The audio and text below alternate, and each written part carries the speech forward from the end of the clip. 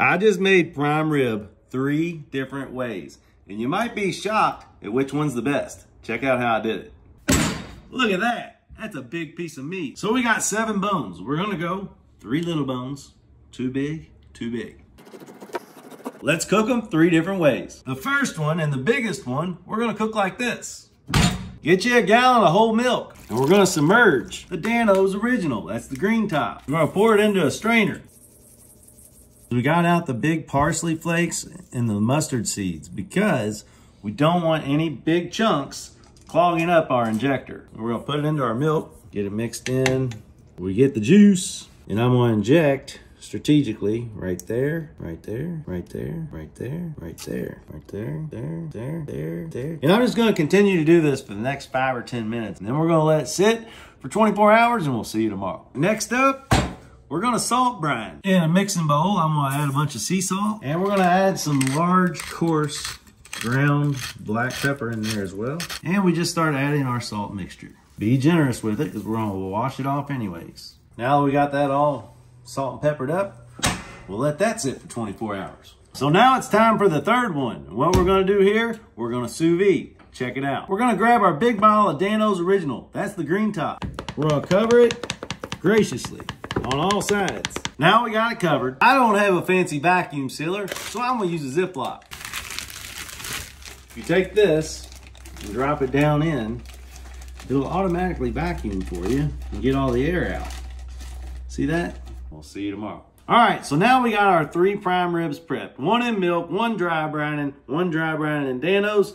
So let's see what happens. All right, you guys, it's the next day and look at that bad boy.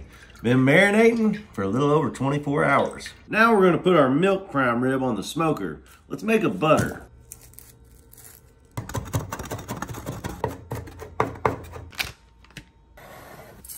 Dan-O's Original. That's the green top.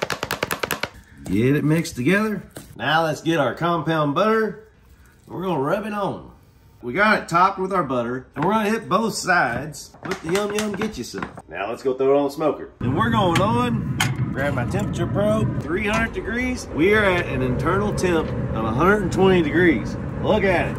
Let's take it inside. Remember, it's at 120. We're gonna wrap this thing, and we're gonna let it rest for about an hour. All right, so it's rested.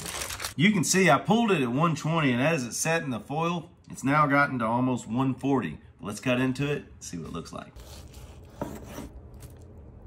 Ooh. Not even squeezing it. We're cutting right down the middle.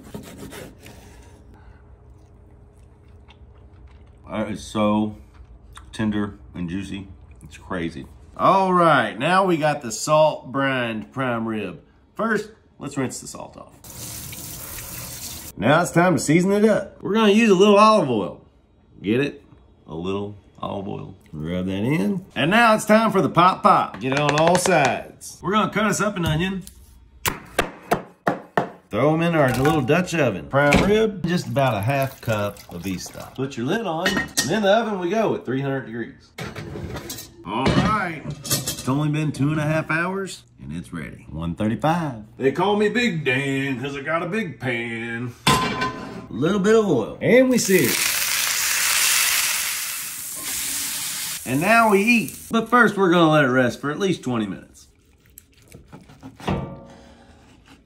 Maybe a little overcooked, but let's try it. I'm gonna go in for a bite right out of the center. And you always gotta have a little horseradish makes it better.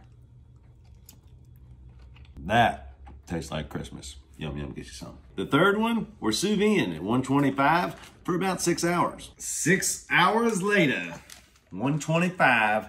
Now let's sear it. A little bit of oil.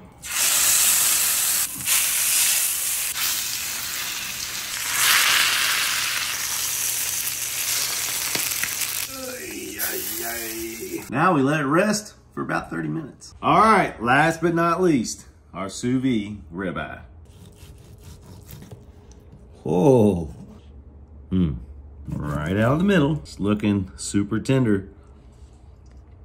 It's good, but it's got a little chew to it.